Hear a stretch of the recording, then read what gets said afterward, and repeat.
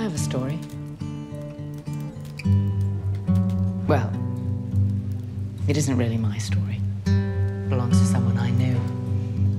The gardener did not even introduce herself to the new au pair. She barely acknowledged her at all. Simply treated her as if she'd always been there. You're doing great. Which, if she were honest, was how the au pair felt when she first saw the young woman.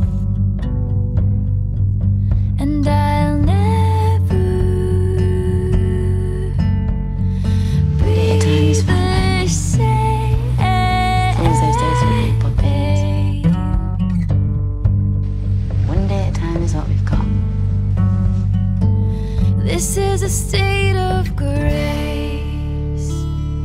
This is the worthwhile fight.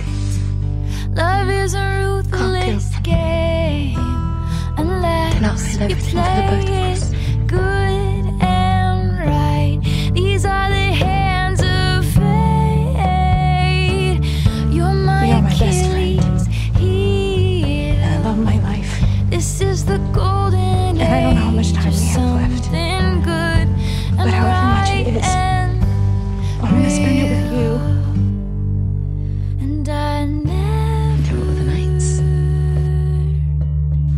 And there will be the